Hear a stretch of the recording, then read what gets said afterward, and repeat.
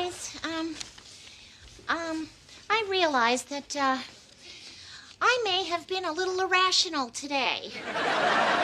A little. Shut up!